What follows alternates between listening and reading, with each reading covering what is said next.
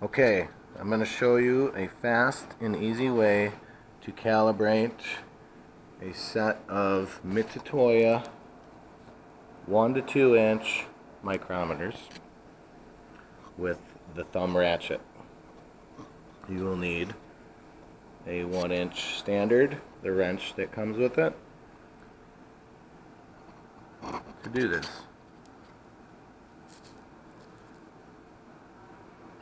So unlock it,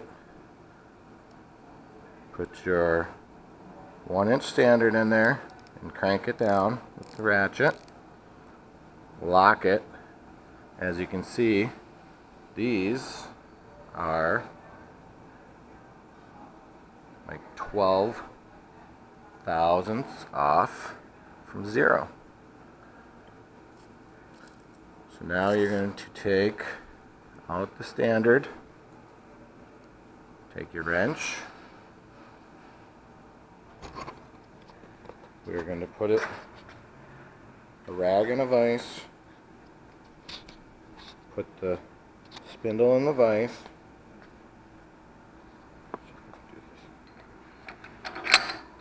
to protect it. tighten it down. And then you're going to find this hole in the ratchet right there and you're going to put this wrench in that hole and loosen that ratchet. Now you're going to grab main part here and just spin and pull it towards the ratchet until it pops free. There it goes, pops free. Now I can spin this anywhere I want. So I would put it on zero and then tighten that back up. However, I'm going to take this off quick just to show you what the inside looks like. You don't have to do this, but underneath here there's just a taper and a taper in here that mates. So the ratchet just pinches those tapers together. And sometimes, um, if somebody tries to over tighten it, um, the, it will spin on those tapers and that's when it gets so far off.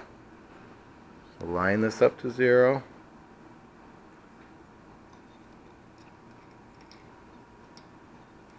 tighten your thumb ratchet back on. Your wrench.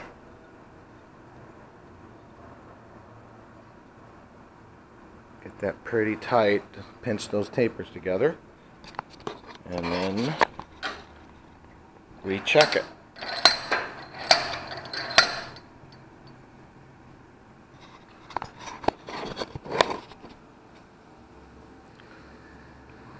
unlock it.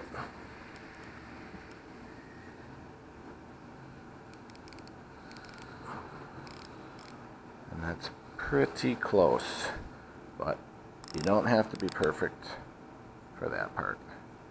It's a little off, so now you can do the fine adjustment with this hole that's right there and the other side of your wrench.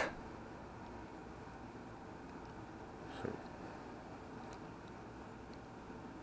and then that would be the wrong way. This way. It's hard to see.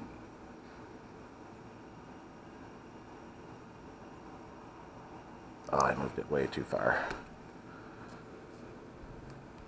Start over.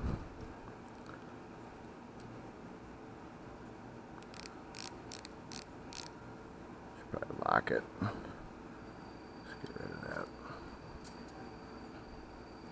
Now I can go this direction because I went too far. Maybe you can see this a little better this way.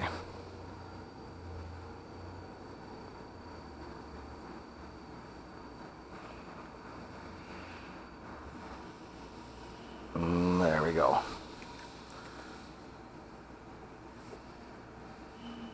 All lined up. Check it one final time.